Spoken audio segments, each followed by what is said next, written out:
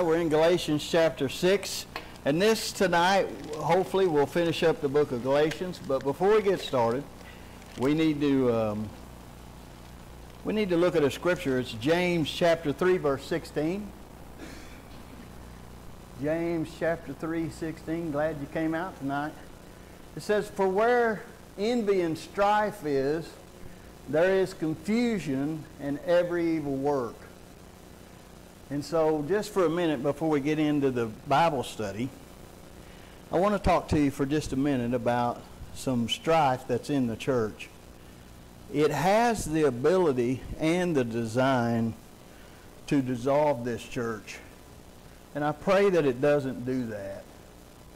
Um, I need to, I feel like, apologize to this church and ask for forgiveness because um, there is confusion in this church, and as a communicator, that's a terrible thing. Um, several people in this church, some have left, some are thinking about leaving because they think that I'm teaching that they're going to go to hell. Now, let me just say this, and the apology is real. I, I apologize. I'm, I'm uh, broken over it. Um, you've probably never heard anybody teach the security of the believer like me. Matter of fact, I don't think if you're born of God's seed, you could go to hell if you wanted to. I think you could stand there and say, God put me in hell. He wouldn't put you in hell. You couldn't go to hell no matter what. So I think there's some confusion there are some people that's concerned that I've gotten away from teaching the Bible. That's what I live for. And I'm focused more on, let's say, current events or conspiracies. And I've taken that and I apologize for that. The only thing that drove that was uh, a love for you. That I didn't want you to be deceived. And um, we'll do a little bit of that tonight, but not very much. And we're going to try to get back to teaching God's Word. But here's what I believe, saying all that. I believe the Bible should be our final authority in faith and practice. And what does that mean? That means in everything you believe and in everything you do. And I also believe that you could take today's newspaper and set it right beside your Bible, and you would be amazed I also believe that we're in a day that never has been before. You are seeing things happen every day that never has happened before. Now, I just want to, before we go any further, I want to just, I'll just, this is how I do. Um, the big elephant in the room is if I take the vaccine, is that the mark of the beast? I don't think that it is. But I think it's so close to it. The only reason why I teach about the vaccines, I haven't liked vaccines for a long, long time, probably ever. Uh, I don't take anything. I don't take a Tylenol. I don't take nothing. And I don't believe anything that the authorities tell me. You say, well, that's stupid. That's me. That's how I live. And what I know, I think it's very dangerous for some people. And I love you people. And let's just be honest. If we can't be honest, I think you guys are my family. And when people in my family are confused about what I believe and are thinking about leaving my family, that hurts. Now let's just be honest. Most of you in my family is pretty old. And let's just take, for example, a man in his 70s who's 150 pounds overweight and he takes the vaccine and he dies of a stroke. They're not going to blame the vaccine. Yet the vaccine's been proven to cause strokes. They're not, if he has a heart attack, they're not going to blame the vaccine. He's 70 something years old and he's overweight. And he has all these other, yet the vaccine's proven to cause heart trouble if he has immediate congestive heart failure, they're not going to blame the vaccine. because he's 70 something years old. Is it going to shorten his life? Yes. Well, I can't just sit back and not tell you what I know.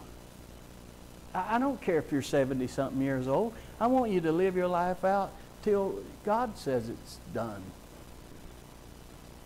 And I don't understand why we will take the word of a computer programmer who had a business who, who caused viruses in his computer so that he could sell you an antivirus. And for 20 years, he's a third generation person that said we need to kill most of the people on the planet. He's wanted dead or alive in many countries for what he did to those countries by giving them free vaccines. But we'll take his word, but biologists who's given their life, even vaccine makers who say don't take it, we say they're crazy. Yesterday, the number two guy and the number three guy at the FDA resigned. Because the woman that's running the FDA is crazy. She's the one that pushed to get uh, full uh, coverage for fentanyl. It's a hundred times more deadly than hillbilly heroin. She's the one that got it passed to give your children Oxycontin. Well, these two men said, we can't go along with it no more.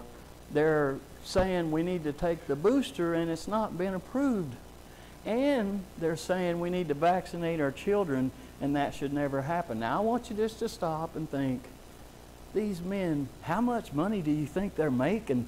They have mortgages, they have boats, they have houses, they have, and they quit their job.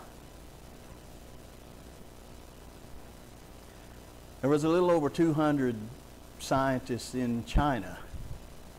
And when this thing broke, 90 some odd of them quit their job in China at the threat of murder, imprisonment. I'm just trying to tell you there's something up. And then the Bible has a lot to say about it. I just had a woman in my office before I come out here. She said, Do you think I'm going to hell? Listen, I think we need to revisit those verses. I said, No, I don't think you're going to hell. She said, Well, I took the vaccine. I said, I don't think you could go to hell if you wanted to. If you're born again, are you born again? Well, of course I am.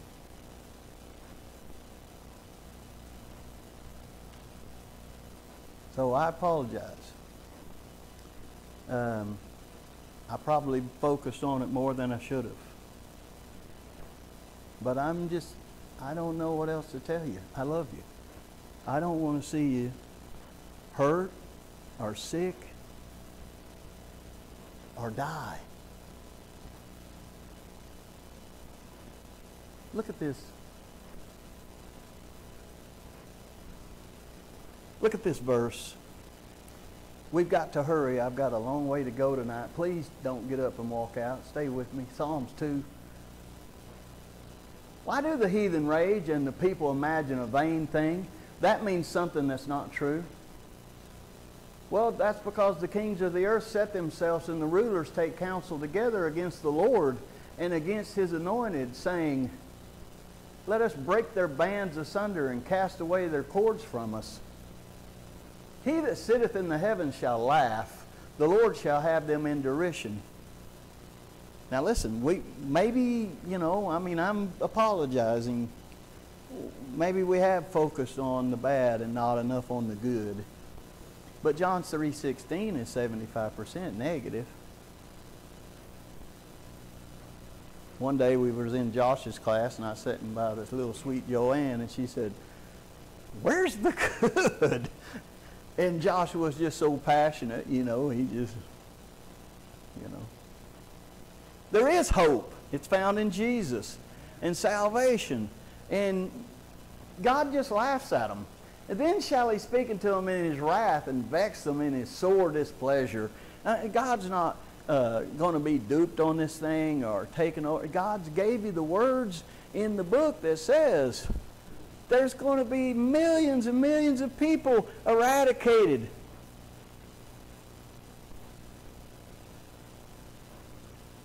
One place, one third of mankind. Yesterday I was driving down the road and I, I don't know, I haven't had time to look into it. But I'm not going to say God gave it to me, but this is what I thought. Because I've had my mind on those verses forever. You know what the Bible says in Revelation chapter 9? It says that there were four angels loose from the river Euphrates that were prepared. I looked that word up before and it means made. Made for a purpose. Isn't that weird that an angel would be made for a purpose? It says, for to kill one third of mankind. They were prepared for an hour and a day and a month and a year. There's something there. And I just was driving, I was thinking about everything that's happening, and I was thinking about, you know, we know that they began this whole thing not in China. China got the information from us, but we started it making these new viruses called M, uh, MNRA.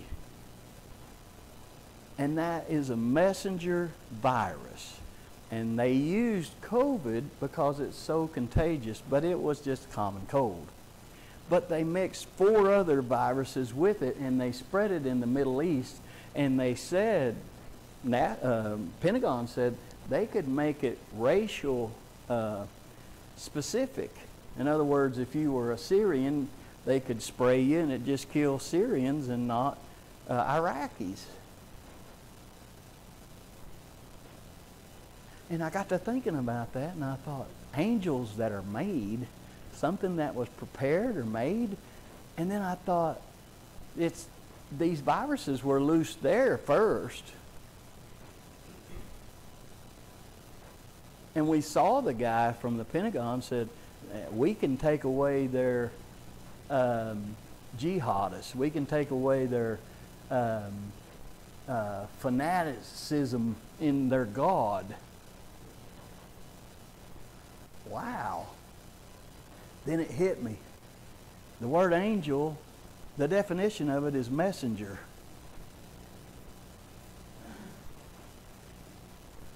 Well, there's four of them. And I won't even tell you what I think about that. So I don't know, but then there's another place. So a third of mankind's going to die from something loose there. I always thought it was a war. And if you don't think you're in a war, you're in a war, baby. It's a bio war. But we may not be being attacked from without.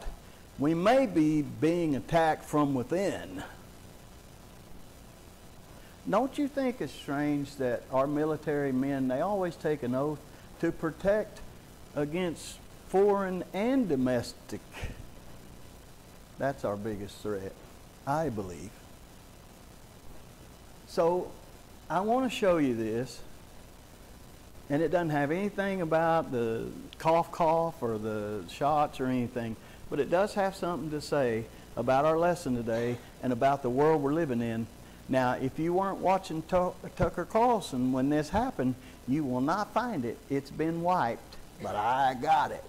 And I just want to show it to you so that you'll have the information. But it won't hurt my feelings if you don't believe like I believe. Show it if you can, Kenny.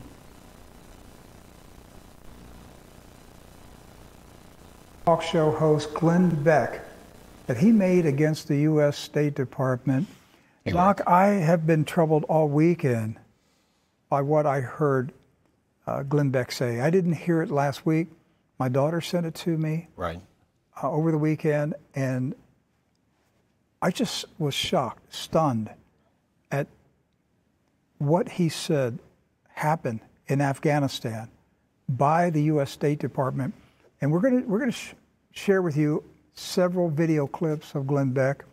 First of all, I want to commend Glenn Beck uh, for his work to rescue Afghan Christians. He has raised over $30 million in a matter of days. Yes. Uh, one large donation came from Bill O'Reilly. Uh, the, the private jet that Mr. Beck is using to get around the Middle East to coordinate this rescue operation was donated by uh, Kenneth Copeland. A lot of people uh, did things that were extraordinary gifts. And so, to all the people that donated, a total of over $30 million, to Glenn Beck, to Kenneth Copeland, to everybody who has done something to rescue Afghan Christians, I salute you and commend you, and I am uh, very proud of you that you, you've done this. Uh, the first article we want to show you is the Catholic News Agency. And and this is from earlier last week. And this was the first indication that there was something going on in Afghanistan regarding uh, Christians that were being singled out or separated from other Afghans that were being allowed to leave. Somehow Christians were not being allowed to leave. So Catholic News Agency was one of the first to uh, pick up on this. Um, you know, Doc, this reminded me. This is this is a, very similar to what Obama did uh, with the Syrian refugees. Uh, I recall that. Obama yes. would not allow Syrian Christians to enter the country. Right. And as the uh, week has progressed here, last week, uh, and uh, other outlets like LifeSite News was reporting on this as well. Um, they, you know, LifeSite was one of the first ones out there, along with Mr. Beck, directly accusing the Biden White House and the State Department as colluding together in blocking the rescue of Christians from Afghanistan, and that there was some, uh, whether it was written rule or not, or unspoken rule for sure, that Christians were being singled out and not allowed to leave Afghanistan. And the accusation is such, according to Mr. Beck, because he had people on the ground, that they may have actually been allowed to. This is where this gets absolutely horrifying and shocking and will make you furious when you hear what Glenn Beck said on Tucker Carlson's show. We're going to play this for you, then Doc and I will discuss the accusation. So, in the last week, a small number of Americans have headed to Afghanistan and the region to help evacuate people who are trapped there because the Biden administration just isn't doing that very effectively.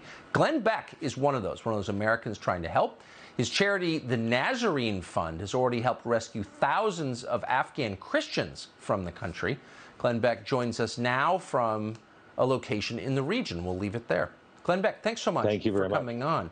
Um, so you just headed over there at the drop of a hat. I have you were texting me on the way. I'm, I was mm. kind of amazed. Um, Tell us what you've seen since you've been there. What have you learned? What's it like? Um, I'm not um, in Afghanistan. I'm in one of the countries in the region that are actually taking these people um, as refugees as a weighing station just to get them off of the tarmac. They they do not want to be identified because they are concerned about the new um, coming terror that is going to be happening yeah. in the region. Um, I will tell you that uh, we have we have pulled out 5,100 uh, people, uh, Christians, women, children, um, and put them on planes. See what you're seeing there is one of the last planes that took off before the bombing uh, or bombings today. Um, we had about 500 refugees, women and children mainly. Um, and we had them inside of the airport today and uh, one military official um, asked them, uh, didn't ask them, ordered them to go back on the other side of the gate. I have pictures of them this morning pleading to get back through the gate. Um, and then I have pictures of blood and body parts and um, nothing but death in that same area. We believe that our State Department uh, is directly responsible for what we believe were some of these people. I don't know how many survived. Oh. Have you been able to get a sizable number of Christians out of Afghanistan? It seems like that's a group that would need to leave. 5,100. Um, the wow. the uh, country the country that I'm in right now is at their limit. There are only three countries. The State Department has blocked us every step of the way. They have the State Department and the White House have been the biggest problem. Everyone else, everyone else has been working together, putting aside differences and trying to get these people to safety. The State Department and the White House have blocked us every single step of the way. In fact, an ambassador was called in Macedonia last night uh, and and told uh, not to accept any of these people as we were trying to get them off of the tarmac here to keep the airport flowing and getting these Christians out. We haven't really been able to move anybody for about 12 hours. Our mission is now changing greatly. We have to send people into even greater danger to try to smuggle these Christians out who are marked not just for death, but to be set on fire alive because they're converted Christians. Uh, also, tomorrow I'm getting back onto another plane. So, you know, not funded by the Nazarene Fund, nothing I am doing here. I'm paying for this here. Copeland Ministries has, has let me borrow their jet, but we're going someplace else to open up two countries. And I don't even want to say who they are because I'm afraid our State Department will call them and threaten them. Uh, but we are going to move these people to new homes, and they are going to be a blessing to some country. I don't know why we have open borders. I mean, it's really interesting. We have open borders and closed airports. One group of people um, are exploited, raped, and killed by drug cartels. And then the other group of people are raped, exploited, and crucified or set on fire by terrorists. There seems to be a pattern with the Biden administration. Yeah. So Islamic countries, Muslim countries are more eager to accept Christians from Afghanistan than our State Department, which really it, it These, tells you a lot. This country that I'm in, I begged them last night to let me tell them, tell the world who they are. They they have more compassion for these Christians than our American government, and it is insulting, embarrassing, and wrong. Yeah. What our government is doing now, I believe, is out and out evil. Well, I hope you'll come. I hope at some point you'll tell us what country that is. Glenn Beck, Godspeed. Thank Thank, you. you. Is that the most shocking?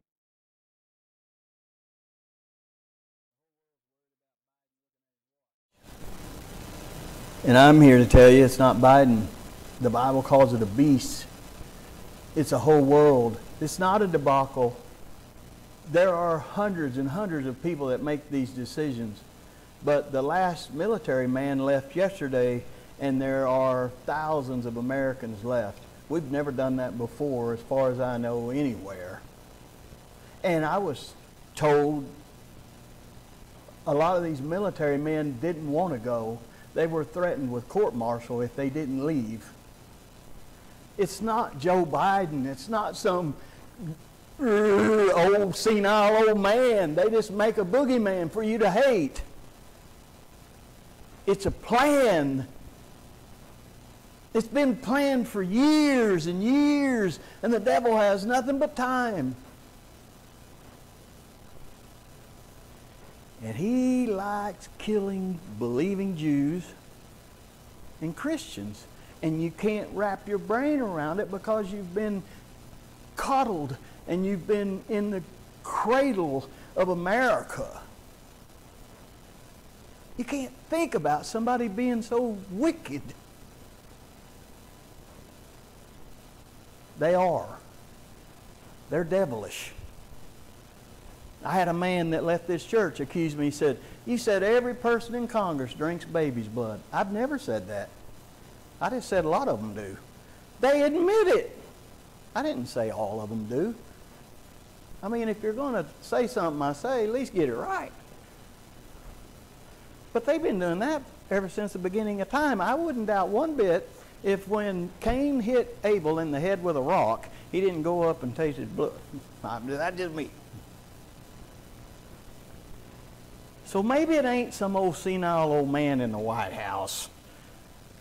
Maybe it's a machine. And maybe the whole thing is just to kill Christians. Well, the Bible, this is a Bible study, the Bible says they're drunk on the blood of the saints. And just because they don't look like us. Let me tell you something. Maybe one of these days I'll teach on it. What is the path of the return of Jesus when he comes back? before he hits Mount Olives, everybody talks about Mount Olives. He's going to split Mount Olives. He's going to go through the eastern gate. Before he goes there, he liberates the Coptic Christians in Egypt. Nobody ever talks about that because we can't believe there's Christians in Egypt. Well, because they don't go to Braum's after their services, you know. They wear, they all wear bed sheets, and they can't be Christians, uh, you know. They're not Baptist. Let me ask you something. The Southern Baptist is the largest religious system other than Catholics. How come we're not over there? Millions and millions, probably hundreds of millions of dollars. Well, why, why don't we rent a plane?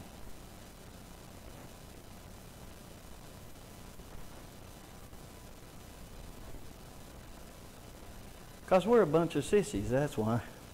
Why does it take a Mormon, and Ken, Kenneth Copeland's got 10 planes, and he gave Glenn Beck, why does it take a Mormon to show us up? And then we go around saying, well, they don't even believe in the same God. Well, whatever God they believe in has him compassionate enough to go try to save a bunch of people while we don't. Now, I don't get it.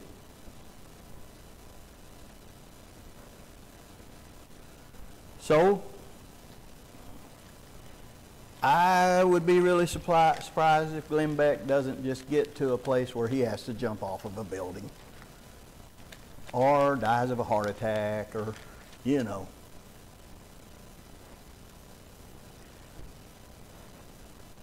Well, now, the president of Tanzania, now you remember he was a medical doctor in great shape and he sent in the blood off of his BMW and it come back positive and then he sent the juice out of a papaya well, shortly after that, he died of a heart attack. And then the king of Haiti, you know, the king of Haiti started talking about the same, and guess what? Heart attacks must be contagious because he died too. So, Glenn Beck, you better have somebody checking your chicken strips. So let's go. Here we go. Galatians chapter 6. Let's go to Romans 2 uh, 8 2. This book of Galatians is the foundation of Romans, and it's all about this ideal that these Jewish believers, uh, not in Jesus, but Jewish people would come in there and they told these believers who were mostly Jews, okay, it's okay, it's fine if you want to believe in that zealot, Jesus, because the Jews always had somebody they followed. All the way to Acts chapter 19, years and years and years later, Paul finds a group of devout, believing Jewish men who were still following John the Baptist, who had had his head cut off for Jesus 20 years ago. So the Jews, they always had a favorite rabbi or a teacher. You see it all through the churches. Uh, in the book of Corinthians, Paul says, you bunch of dumb dumbs, you know, you say, well, I'm of Apollos and I'm of Paul. And, I, and he said, stop that stuff. Well, that's just the way they were. Well, they come to these Jews who were in this thing called the way now, and they said, That's all fine and good. You want to follow that nut? Go ahead. But you still got to keep the law because it's written in the books of Moses that you got to keep it. They didn't understand about dispensations. And they said, Well, now, now wait a minute. Paul says that we don't have to keep that. Yeah, you got to be circumcised. Well, they said, well, now, Paul, and you know what it was? It was strife. And it brought confusion. And so Paul says, watch this. For the law of the Spirit of life in Christ Jesus hath made me free from the law of sin and death. So Paul says we're free from the law, we're dead to the law, we're delivered from the law, and that Jesus is the end of the law. Galatians 2.19 for I through the law am dead to the law, that I might live unto God. If you were in Sunday school, you know that at the fruits of the Spirit it says, from which there is no law. They asked Jesus, what's the greatest commandment? Well, what are they asking? What they're asking is, man, there's a whole bunch of them, but which one do I really need to keep? And he said, uh, just love God with all your heart and all your mind and all your soul. You don't have to worry about anything else. And then love your brother like you love yourself. That's the whole of the law. You don't have to worry about stealing something from somebody if you love them. You don't have to worry about murdering somebody or committing adultery with somebody or Romans 7 6. Romans 7 6, he says, But now we are delivered from the law, that being dead wherein we were held, that we should serve in newness of spirit and not in oldness of the letter. So you were dead under the law, now you've been born again unto Christ. And in Romans 10 4, it declares that Jesus is the end of it. For Christ is the end of the law for righteousness to everyone that believeth. Jesus Christ ended the law. The law was God's uh, mechanism to get people to a point of righteousness, of right standing with God. They had to keep these laws best they could, but they couldn't. So they had to sacrifice the blood of an innocent animal to cover up where they messed up not keeping the law. Okay? But when Jesus came, that ended that. We don't keep the law no more. We don't keep the Sabbath. Jesus is the Sabbath. So we've taught on it at nauseum. So now, chapter 6 of Galatians is a particular application. How do we live it? That's one of the things I feel like God's blessed me to do. Everybody talks about different things, but nobody knows how to implement them. Everybody talks about salvation, and I've yet to meet a pastor yet that knows how you're saved you ask them, well, how's a person born again? Uh, they believe and be baptized, and they get those big old lists of things, but they don't know what happens. So, look at this. So, in this chapter 6, he finishes up the book, and he has four categories. First is it's our, our sacrificial service for the believers. We have a sacrificial service one, to sinning Christians. Do you know you have a responsibility to sinning Christians? You have a responsibility to me. If I get off course, and, and several people in a very loving way this week has done that. They said, we think you're off course. And I didn't burn their house down or hate them. I love them. And I said, I take that. I need that. I'm trying to get back on course. But I didn't get off course because I don't like you. I got off course. It'd be like if you broke your arm and I broke the speed limit getting to the emergency room. Yeah, did I did I break the speed limit? Yeah, but I was trying to get you there quicker. But you have a responsibility to sinning Christians. We ought to be able, if I see David J. straying, we ought to have a relationship as brothers in Christ. I could go to David J. and say, David, I love you, but I think you're straying. And David ought to be able to say, thank you. Not, you're fat, get out of my house. And I'm glad he stopped doing that. It was very hurtful. So, one, you got a sacrificial service for sinning Christians. Two, burdened Christians, three, pastors, teachers, and four, to all people. So let's go. Galatians 6 1. Watch this. This is sinning Christians. Brethren, if a man be overtaken in a fault, ye which are spiritual, restore such a one in the spirit of meekness. Not weakness, meekness. And meekness is the kissing cousin to kindness. Considering thyself, fancy pants, lest thou also be tempted. Okay? So before you go trying to line somebody out, um, you know, we have a responsibility to each other. But the spiritual person always wanted to have a car club and use that verse because it's about restoring. So we what? We restore them back to their place. One thing that churches do, they'll have a person in their family. And some people throw that around church family, church family. To me, y'all are my family. And they'll have one fall. And then that person will get back up. And they'll let them get back up. And they'll be happy for them, but they don't never put them back where they were. They always keep them in that place where they fell.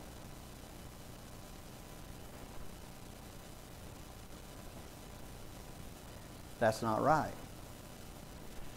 When you restore a vehicle, I guarantee you, Ricky Swabothian's 57 T-Birds better now than it was in 1957.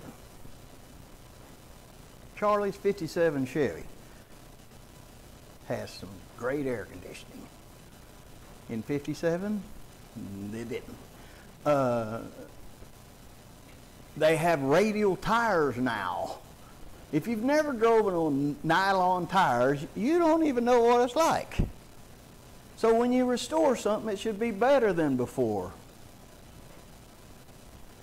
That's our responsibility to sinning Christians.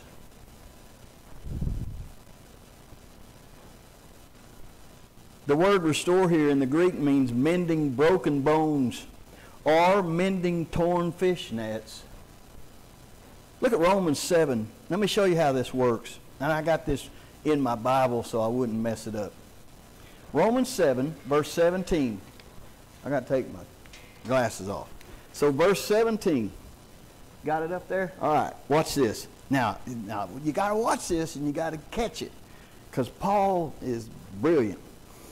Now, then it is no more I. So, Paul's talking about that I is himself, not his body, but him himself, which is his soul and his born again spirit. Now, I want you to watch the contrast he does all through this section of Scripture so that you know the difference. So he says, Now then, it is no more I that do it. So technically, when a born again person sins, their spirit don't sin. It's not technically them. But I know it is their body. For example, my youngest son, you know, he'd be strung out on something or something, and he'd say something awful and ugly to me, and other people would say, Now, Sherman, don't let that hurt your feelings. That's just the drugs talking. And I'd say, Yeah, but it's coming out of his head. So don't get me wrong. And what you do in your body, it may not contaminate your spirit, but it, you will reap what you sow in your body, not in your spirit. Your spirit and soul has been cut away from your body. Your spirit will never reap, once you're born of God's seed, what your body does. But you'll reap it in your body. You say, well, I don't understand that. That's confusing. Okay, let me make it crystal clear. You can take a chainsaw and cut your leg off. It don't cut your spiritual leg off. And then the rest of your life you'd be like, man, that was a stupid thing to do. And we'd be like, yes, it was, Hoppy. But you don't cut your spiritual leg off. You don't believe me, do you? Scientists proven. Scientists took uh, they took a leaf, and under this um, machine that they had made, this is years ago, it could tell the aura of something living.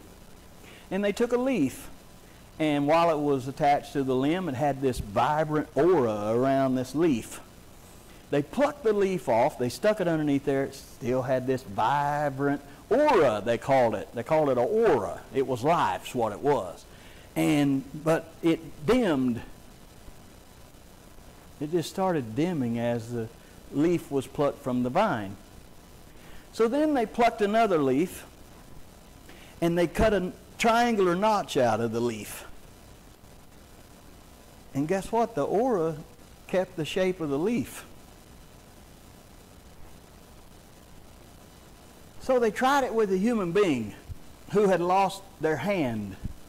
And wouldn't you know it, the aura of a living human being still traces with the fingers and hands.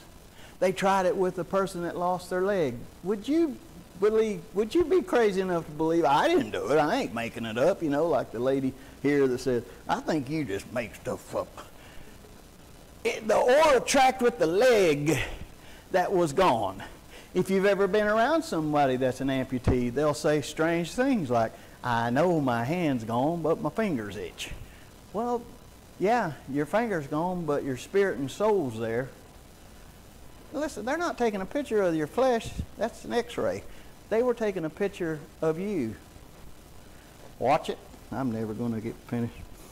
Now then, it is no more I that do it, talking about sinning, but sin that dwelleth in me, in his body.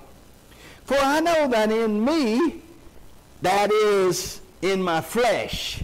He's separating the two. For I know that in me, parentheses, that is my flesh, I'm talking about now, dwelleth no good thing, for to will is present with me, but how to perform that which is good I find not in my flesh, parentheses. For the good that I would do, not, but the evil which I would not, that I do, parentheses, in my flesh. Okay? Watch this. Now, if I, talking about his spirit now, he switched, do that I would not, it is not I that do it, but sin that dwelleth in my flesh. Watch it. I find then a law that when I would be and when I would do good, evil is present with me in your body. Now y'all just keep looking straight ahead, but every one of you in here have sin in your body. But if you're born again, it's not in your spirit. Watch it. For I delight in the law of God after the inward man. That's your spirit. Your spirit delights in God. It's born of God's seed. It's an incorruptible seed. Your spirit couldn't sin if it wanted to. But your flesh was born of a corrupt, corruptible seed. Blame that on your daddy. Watch it. But I see another law in my members so my spirit, my inward man, it runs on one law, the law of Christ, the law of love. But he said, I see another law working in my body. Watch this? I see another law in my members warring against the law of my mind. Not his brain, his mind. That's a spiritual reference. And bringing me into captivity to the law of sin, which is in my members or body. So my body, as long as my spirit's in my body, brings my spirit into captivity to the stupid stuff that I do that Paul said I don't even want to do it, but I wind up doing it, and it's like a schizophrenic who spiritually looks down and is like, What are you doing? Watch it. Oh, wretched man that I am, who shall deliver me from the body of this death? I thank God through Jesus Christ our Lord, so that with the mind, spirit, I myself serve the law of God, and with the flesh, the law of sin. That's it in a nutshell. So, here we go. Galatians 6 2. Watch this. We got to get there. We got somewhere to go. We got to get there. Bear you one another burdens. Now, this is the second category. We have a um, uh, service. We have, what did I call it? I don't even know what I wrote down. We have a sacrificial service to sinning Christians and then burdened Christians. So, watch this. Do you, you know what that means? That means when you're living your life together with these people in your family or in your church family, and you see one of them burdened, you have a sacrificial service, a responsibility to try to help them. Not just say, oh, they look burdened. Watch what he says. Bear ye one another burdens. Now, in the Greek, that word there used for burden, it, um, the reason why I'm telling you this, because in verse 5, it's a different word. That word means a lofty weight that no one could carry by themselves. And what happens in churches is they see someone that's burdened and they think it's contagious. And they go off and say, well, I'll pray for them. Well, don't waste your breath. You have a responsibility to try to help them. I always tell people that. I mean, I'm praying for you. And that's very important. Don't think I'm belittling that at all. But what can I do for you? Because I've been in that place, and everybody I knew said, I'm praying for you. And that was great. But I was under a load I couldn't carry by myself. And there were several of you in this church saw that. And you didn't even realize what you were doing, but you came to my rescue. That's what he's saying. Hey, you see somebody, they're under something, they can't make it, they can't carry it. It's a burden too big for any one human to carry. And, and there's several of you here that you saved my life.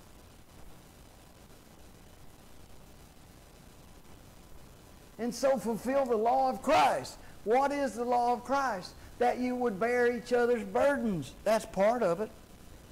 Watch verse 3. For if a man think himself to be something when he is nothing, he deceiveth himself.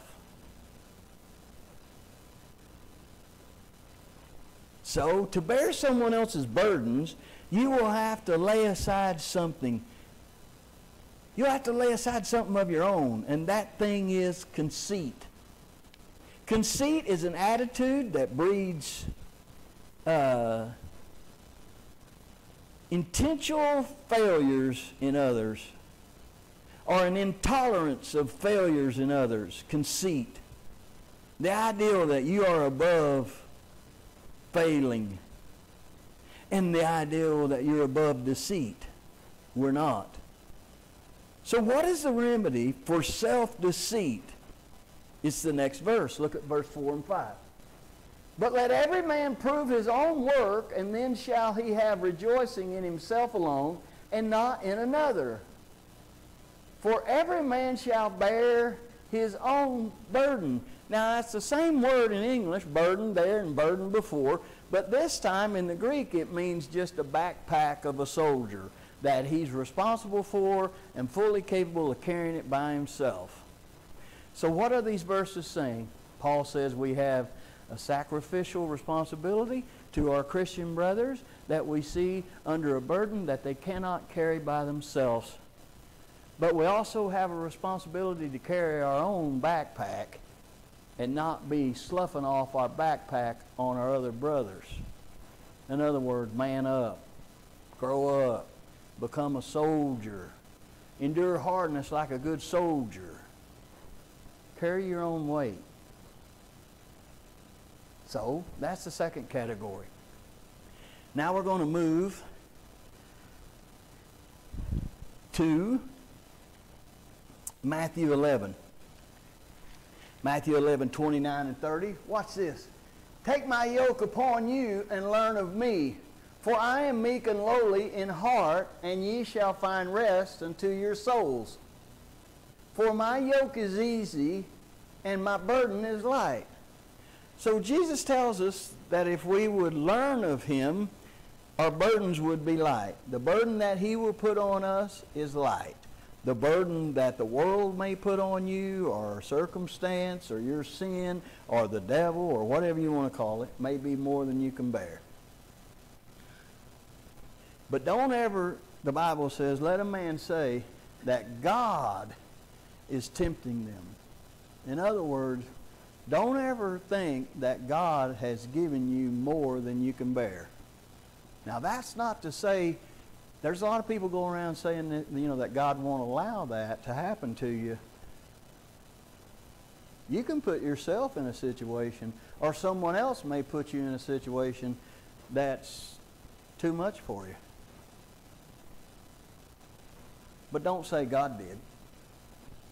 So, now, the third group that we're looking at, we're looking at four groups tonight. Not the sinning Christian or the burdened Christian. Now we're looking at our sacrificial service to pastors and teachers. So, Galatians 6 6, look at what this verse says. Let him that is taught in the word communicate unto him that teacheth in all good things. Now, Paul began to teach this, and it was something new. The Jewish people did not support their, their uh, priest. It was almost like a tax. They had taken the ideal of Abraham tithing to Melchizedek, and they had made a law into it. And Moses wrote out the laws, and the laws were, but they morphed into like a tax. So you didn't uh, take up an offering at a local synagogue uh, to take care of individual people. You had to pay your duty to the temple or you paid to the synagogue too, but it was a different thing. So when Paul started these churches, this was a new ideal that people would give tithes and offerings for who taught them and who preached and taught them God's Word. This was a new thing that had never been done before. So he said, you know, whoever's teaching you God's word, you owe them all good things. So Paul's saying you need to support whoever God has for that's teaching you the word of God. Not just financially, everybody jumps to that, but you're to support them in every way. So look at verse 7. Be not deceived. God is not mocked. For whatsoever a man soweth, that shall he also reap. Well, that's a law of God. And just because you're born of God doesn't mean that you won't still reap in your body what you sow. So you can pick your harvest. And you pick your harvest by the seed you plant. So you're going to reap what you sow.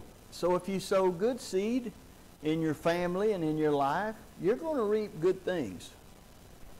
If you sow bad things, you're going to reap bad things. That's one good thing about God. He's very, very, very predictable. Uh, if you study the Quran, you know, Allah, he just flies off at the handle and, you know, all, but God's not that way. He's very predictable. Look at Job 4.8. Job 4.8, we're going to have to speed up a little bit. Even as I have seen, they that plow iniquity and sow wickedness, well, they reap the same. Do you know a few years ago, it was before I came here. I was at uh. I was serving time at Barnsdall First Baptist. There was a New York play subsidized by the taxpayers of America called Corpus Christi. And it was a play um, just blasphemous play about Jesus. And in that play, it, it portrayed Jesus as a homosexual. And in one scene, him and Judas were, uh, let's just say, intimate. And for several years, I tracked those guys, the people that produced that and wrote that, the ones that starred in it. And let me just tell you, they reaped what they sowed. You're going to plow iniquity and sow wickedness, you're going to reap it. Look at Hosea 8 7. Hosea 8 7. For they have sown the wind, and they shall reap a whirlwind. So, I mean, that's a law of God. So back to Galatians 6 8 and 10. 6 8 through 10. Look at this. For he that soweth to his flesh shall of the flesh reap corruption. Now, who's he talking to? He's talking to born again people at a church in a town. And it wasn't a town, it was an area of Galatia. And a large part of them were Jewish believers, but there was some pagan, or Gentile believers. But what he's saying to them, just because you're born again, don't mean you can just live however you want to and sow seeds and it won't affect your body. Just because you're born again doesn't mean that you can abuse your body and it won't affect your body. Just because you're born again doesn't mean that you can um, do things in your family that's detrimental and, and your family won't fall apart. You're going to reap what you sow. For he that soweth to his flesh shall of the flesh reap corruption, but he that soweth to the Spirit shall of the Spirit reap life, reap life everlasting. And let us not be weary in well doing, for in due season we shall reap if we faint not. As we have therefore opportunity, let us do good unto all men. Here you go. And this is where it ties in to the Glenn Beck story. He says, do good to all men. That's your fourth category. But especially unto them who are of the household of faith. Now you say, well, that seems like that's a little bit uh, bigoted. You treat Christian people better than you do lost people? Yeah, you should. Do you think Glenn Beck ought to go over there and segregate and get the Christians out of there and leave the non-Christians? Yes, I think he should. I, if you ain't figured this out, you ain't read your Bible. God is the biggest uh, segregationist ever. Matter of fact, there's going to come a day he's going to segregate sheep from goat. Matter of fact, he's going to segregate just a select few to live with him and the rest burn in hell. Talk about segregation. Now, I'm not saying that he segregates people by the color of their skin. Don't go out of here saying that stuff. That's crazy. I don't have a racial bone in my body. But to say that God's not, that He doesn't segregate from people, you haven't read your Bible. Do you know what Jesus Christ said? He said, I pray not for the world, but for those that you gave me. John 3:16 For God so loved the world that he gave his only begotten son that whosoever believed in him don't have to perish. But if you think God's just ooh, pining away for the world, the Bible says, you know what God thinks of the nations? Less than zero. Well, he's going to burn it all up.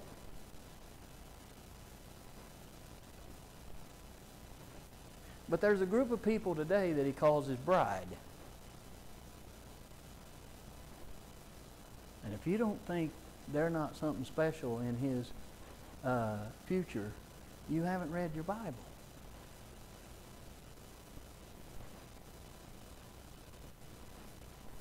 Now, every man in here that has a bride, listen up to me. You say, don't tell us about. You're not doing very good in that category. Just be quiet and listen. Your bride should be the most special person on this planet to you. Not your kids, not your grandkids, and not your dog. And certainly not your cat. But your bride. And I'm not trying to say anything, but if they're not, then you've lost your first love. But that don't mean you can't find it. Go looking for it. You'll find it. I've had several couples in my office. I said, well, they just hate each other, you know. I said, wait a minute. You must have loved each other at one time, didn't you? Well, yeah. I said, well, what did you love about him? Oh, I thought he was cute. What did you love about her? I thought she was beautiful. Well, you just called her a witch and you try to get back and remember those things before you know things came in and choked out the love. So paul says go back to verse 10 he says do good to all people. You know christian people it's christian people. You know i got in a facebook fight one time this guy said uh, the terrorists and christians are all the same things Christians have killed more people than any terrorist ever. And I said, You're sadly mistaken. You think Catholics are Christians. See, that's one reason why Zionist Jews like to kill Christians. Because the Zionist Jews that were gassed in Auschwitz and other chambers and skinned alive were all atrocities done by Roman Catholics, and they attribute that to being Christians.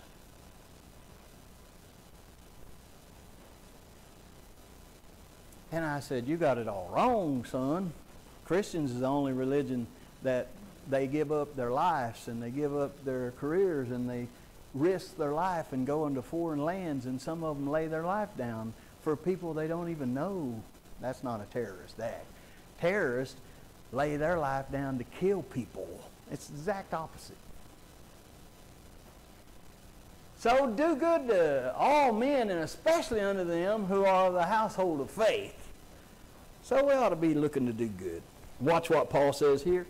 So verse 11, he says, hey, hey, he says, look here, you see how large a letter I have written unto you with mine own hand?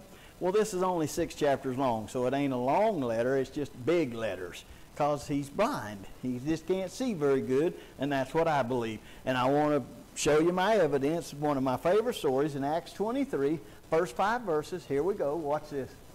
And Paul, earnestly beholding the council, said, Men and brethren, I have lived in all good conscience before God until this day. Now he's standing before the high priest and all the other guys around, right? And he says, You don't have any reason to have me in here. I've lived uh, in good faith in front of everybody. And the high priest Ananias, who was a devil worshiper, people don't like it when I say that. They don't think anybody's worshiping the devil now.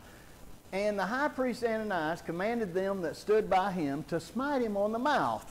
So the people standing around Paul smack him in the mouth. Then said Paul unto him, God shall smite thee, thou whited wall. That was a bad thing to say. What that meant was they had tombs um, where they buried people and they were full of dead men, rotten bodies, but they would wash them and whitewash them on the outside and make them real pretty. You can drive by them on Highway 60 past uh, Sonic. All my references have something to do with some place to eat. Down there past Sonic on the left, going to Nowata, there's a bunch of them tombs. And that's what he said. You're a whited wall. You're a whited sepulcher. That was a bad thing to say. In other words, you, you got that robe on, you're all pretty and everything, but inside you're dead. Now, Rocky ain't here tonight, so the little fella goes under the bus. He's told us all, he said, don't put me in the ground because I don't want to be in the water.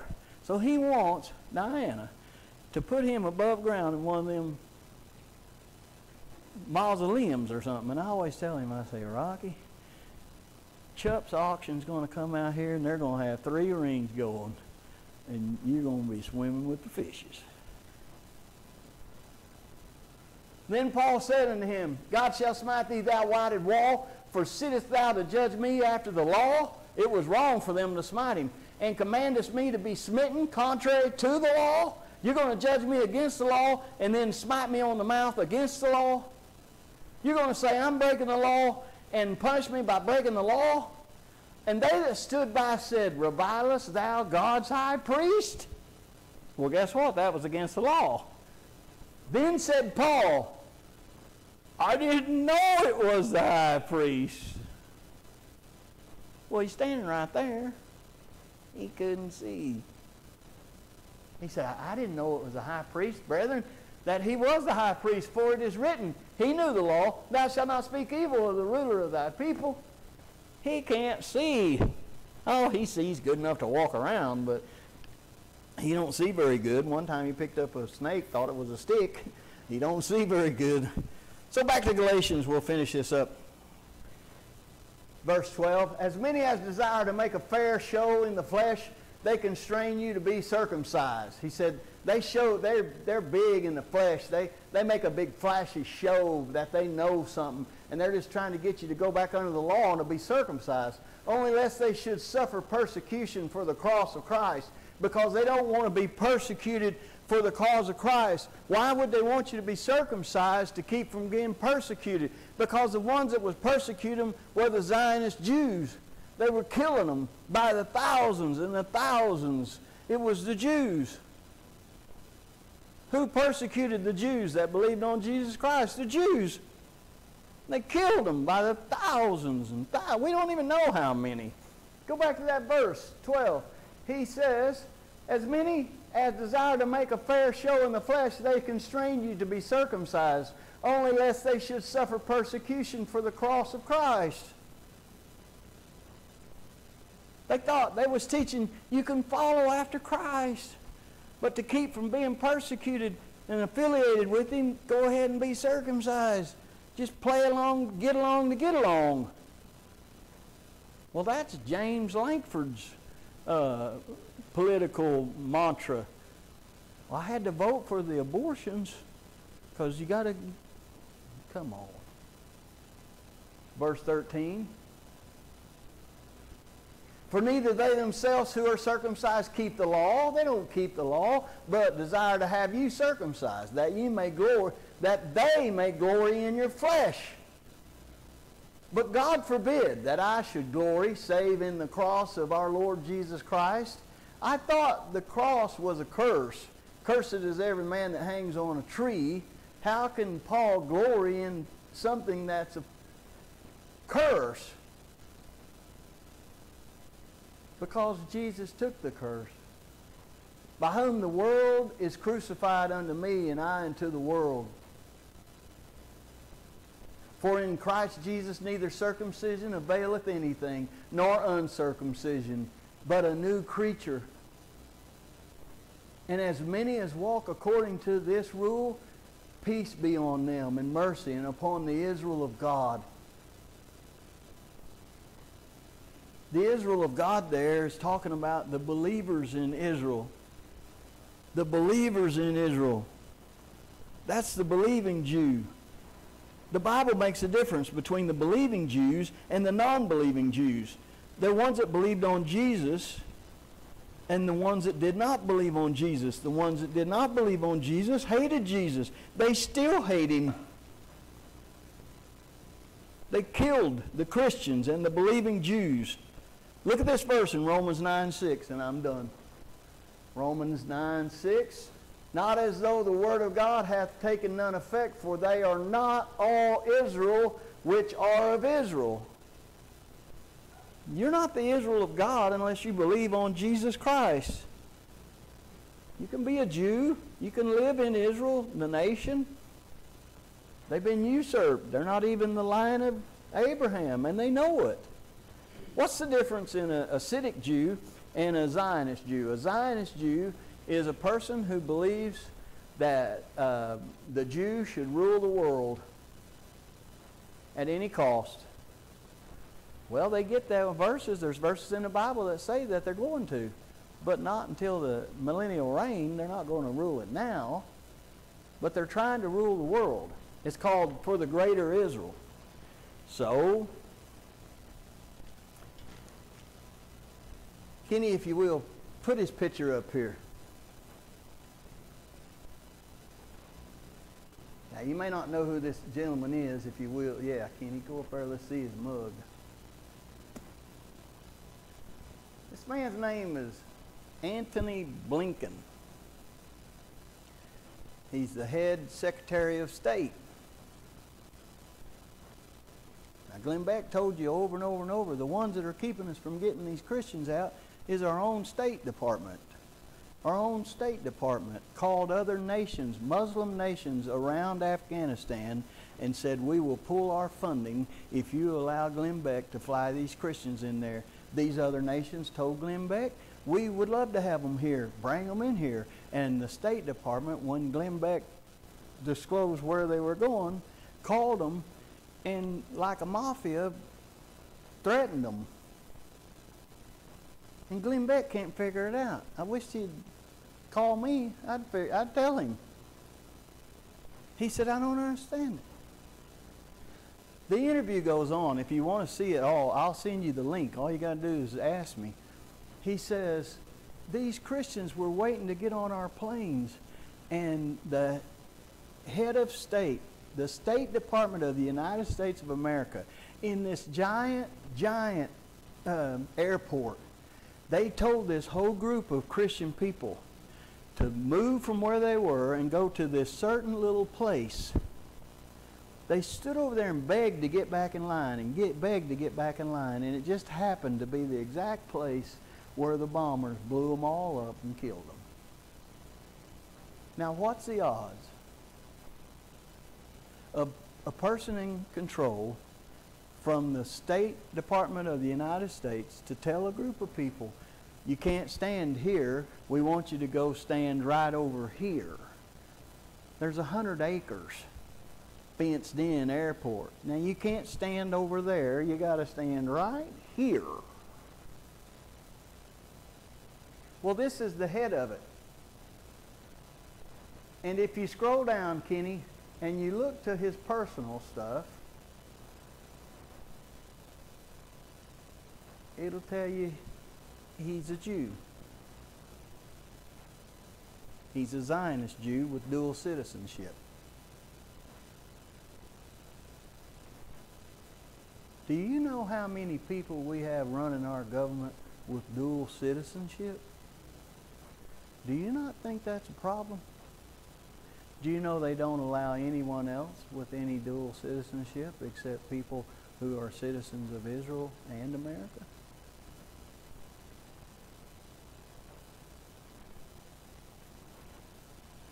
Let's pray. Heavenly Father, thank you. God, we recognize we don't know anything. But what we do know scares us to death. So our faith is in you and our hope is in you. God, we pray for those people in Afghanistan. We pray for our military that you'll keep them. God, we pray for their their minds and their emotions that they had to leave and they feel like they're a part of something that was wrong, but they were forced. God, we pray that you, Holy Spirit, would wrap them in your arms and protect them, God. Protect them from their own thoughts and their own ways. And we pray for those people in Afghanistan. We pray for everyone helping in that area, Glenn Beck and everyone else. That though the enemy raises up a, his head, that God, you would raise up a standard against him. We're thankful that Afghanistan is the second largest growing church, Christian church in the world. From missionaries from Iran, we're thank you that you're on the move over there and you're saving souls. Help us to remember to pray for them and help us to see the truth. God, I pray for Matoaka Baptist Church and the people that in this trying time that we'll look to you and we'll search your word out and we'll preach the message of salvation like maybe never before and we'll prepare ourselves for a harvest. I thank you and I love you. In Jesus' name, amen. Thank you, folks.